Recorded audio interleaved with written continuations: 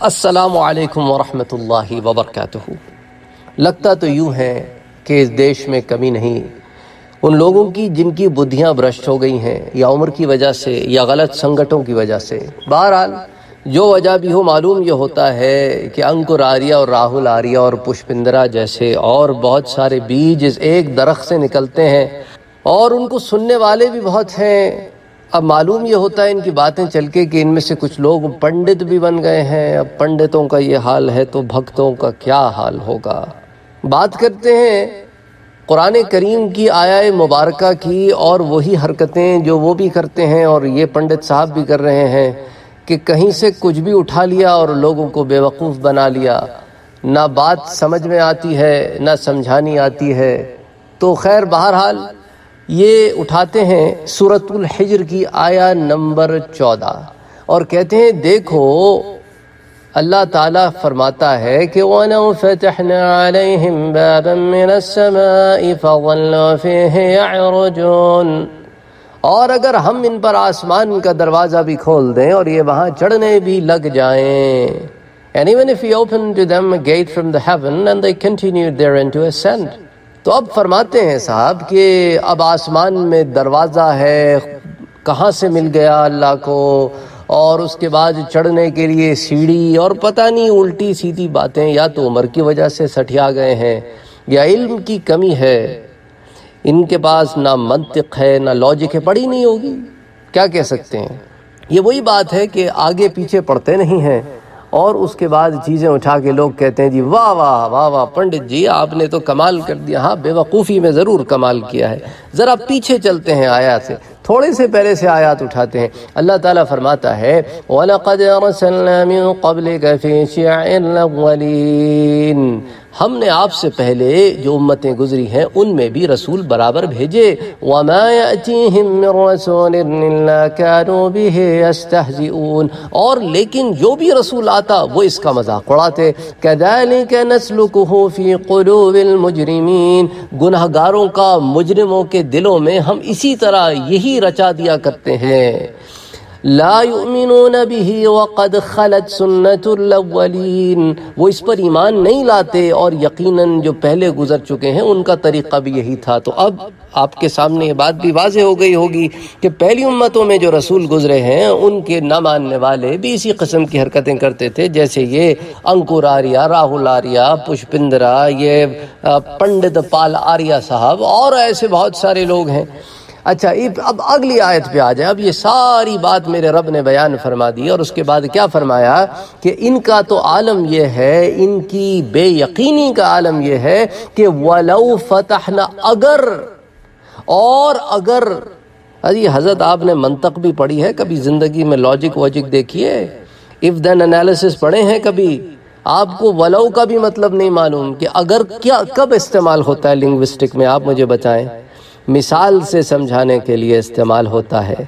اول بات تو یہ ہے، آپ سیڑھیوں کے چکر میں پڑ گئے۔ آپ کو کیونکہ آپ جتنی وہ پنجابی میں ہم کہتے ہیں نا، اس کو اردو میں ٹرانسلیٹ کر دیتا ہوں کہ بندے کی جتنی عقل ہوتی ہے نا، اتنا ہی سوچتا ہے۔ وَلَوْ فَتَحْنَا عَلَيْهِمْ بَابًا مِّنَ السَّمَاءِ۔ اور اگر ہم ان پر آسمان کا دروازہ بھی کھول دیں۔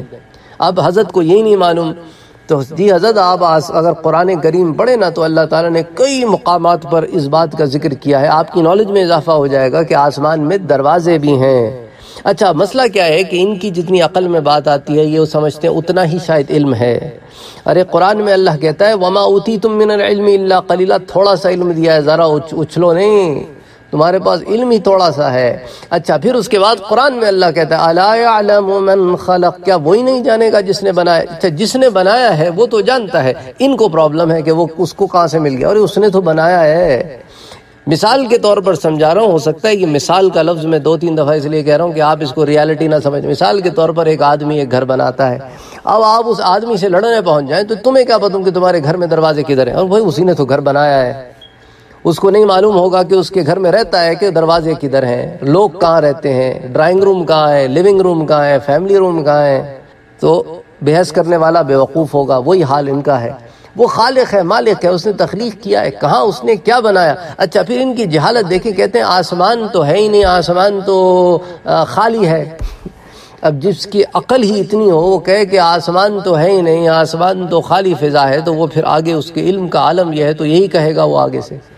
اس کو یہی نہیں پتا کہ آسمان کیا ہے اور خلا کیا ہے، اور زمین کیا ہے، اور کائنات کیا ہے، اور دوائر کیا ہے آربٹس کیا ہیں روٹیشن کیا ہوتی ہے ریولوشن کیا ہوتی ہے، اس کو یہی نہیں معلوم۔ تو اس سے اب آگے ہم کیا بات کریں تو اللہ کہتا ہے کہ وَلَوْ فَتَحْنَا عَلَيْهِمْ بَابًا مِّنَ السَّمَاءِ، ان کی آسانی کے لیے اگر آسمان میں دروازہ بھی کھول دیا جائے کہ بھائی تم تو اتنے کڑ مغز ہو چلو یہاں سے داخل ہو جاؤ۔ چیڑی بھی لگا دی جائے ان کے لیے، چلو بھائی چڑھ جاؤ۔ ان کو مواقع بھی دے دیے جائیں تو پھر بھی ان کا کیا حال ہوگا؟ یہ اگر وہاں چڑھنے بھی لگ جائیں تو کیا کہیں گے؟ اگلی آیت بھی نہیں پیش کی حضرت نے، لَقَالُوا إِنَّمَا سُكِّرَتْ أَبْصَارُنَا بَلْ نَحْنُ قَوْمٌ مَسْحُورُونَ۔ تو کہیں گے، تب بھی کہیں گے کہ ہماری تو نظر بندی کر دی گئی ہے۔ جب عقلیں بند ہو تو نظر بندی ہوتی ہے نا، پھر ایسے پنڈت پیدا ہوتے ہیں۔ تو پھر اس کے بعد کہیں گے، بلکہ ہم لوگوں پر تو جادو کر دیا گیا۔ یعنی کچھ بھی دکھا دیں ان کو، ان پر فرق نہیں پڑنے والا۔ اچھا اللہ تعالیٰ نے یہ بھی بڑا واضح کر دیا۔ وَلَقَدْ جَعَلْنَا فِي السَّمَاءِ بُرُوجًا وَزَيَّنَّاهَا لِلنَّاظِرِينَ۔ اور یقیناً ہم نے آسمان میں برج بنائے ہیں برجز بنائے ہیں آسمان میں۔ اور دیکھنے والوں کے لیے اسے سجا بھی دیا گیا ہے۔ تو اب آپ یہ دیکھیں کہ کتنا انسان جو ہے اس میں ڈیپٹ میں جائے۔ علم ہی نہیں ہے نا ہمارا، ہمیں تو معلوم ہی نہیں ان بروج کے بارے میں۔ او تھوڑے سے برجوں کے بارے میں کچھ پتا چل گیا، اس کو نون یونیورس کہتے پھرتے ہیں سائنٹسٹ۔